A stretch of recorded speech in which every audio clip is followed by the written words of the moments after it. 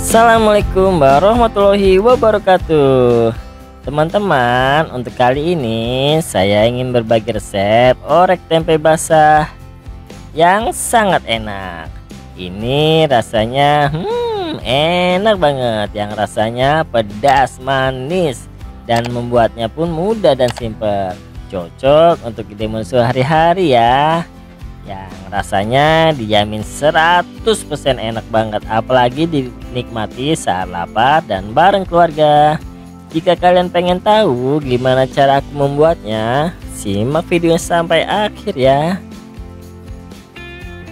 Untuk bahan-bahannya di sini saya memakai satu buah tempe berukuran sedang.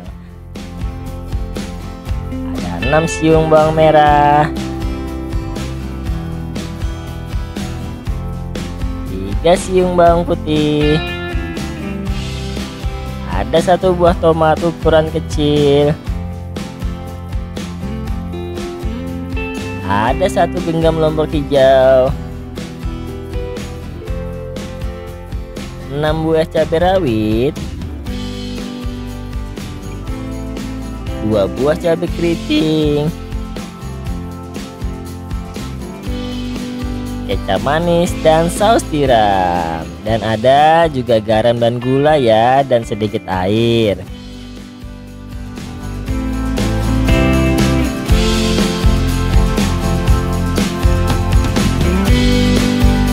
Untuk bahan bumbunya bawang merah bawang putih dan lombok kita iris semua ya tipis-tipis.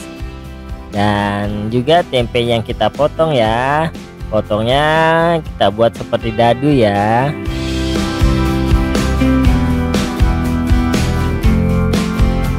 Pertama-tama kita panasin kompor dan kita goreng tempe yang sudah kita potong tadi.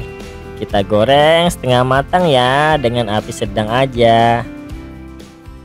Kemudian kita goreng bawang merah dan bawang putihnya ya.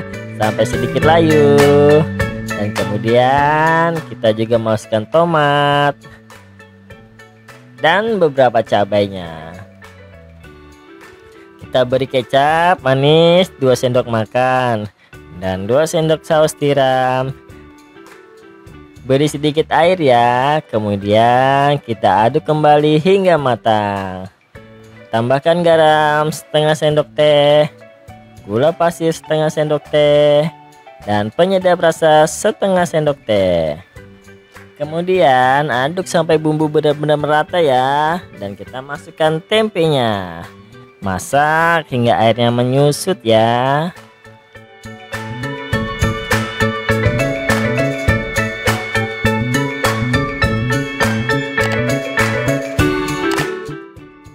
Dan alhamdulillah orek tempe basah siap disajikan ini enak banget loh teman-teman. Rasanya lezat, bahan-bahannya murah dan mudah didapat. Cara membuatnya pun mudah dan simple. Enak dijadikan menu berbuka dan menu sehari-hari. Semoga video ini bermanfaat ya dan menjadi inspirasi untuk kalian yang bingung hari ini mau masak apa. Dan ini wajib untuk kalian coba di rumah ya. Selamat mencoba. Barakallahu fikum.